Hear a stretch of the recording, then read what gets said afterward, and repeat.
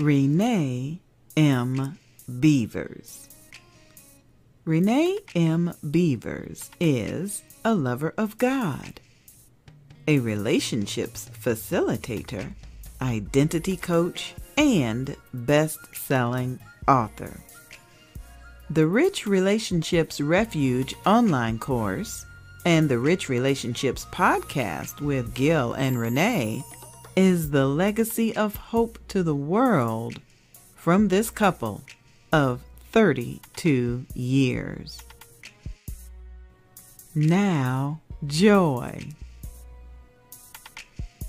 The past year has left many individuals empty, broken, and in need of emotional and spiritual healing. You and I are not alone.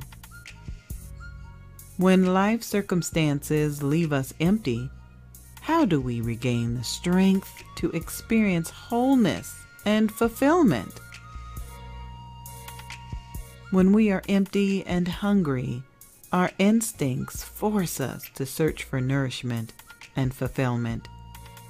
It's the memory of the taste and aroma of something enjoyable that picks us up and begins the journey now, joy is like fresh bread or a pot of strong coffee with an alluring fragrance and an unforgettable flavor. Emptiness and pain are filled and soothed in the presence of joy. Now, joy is a destination where gratitude peace, and purpose welcome its guests with open arms. At this destination, there is a transformation that takes place. Our emptiness and pain are exchanged for joy. Our focus is redirected. Our sorrows become songs and our loss gives birth to books and movies. We create more and consume less.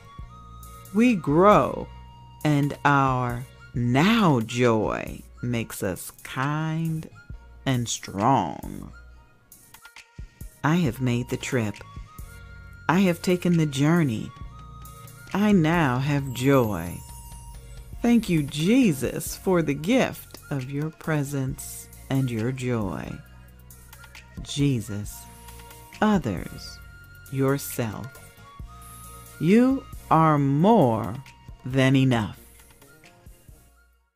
Finding Joy in the Journey, Volume 2, a 90 day devotional. Written by Vernessa Blackwell Audiobook produced by NGB Productions and narrated by me, the Queen Bee, Angie B.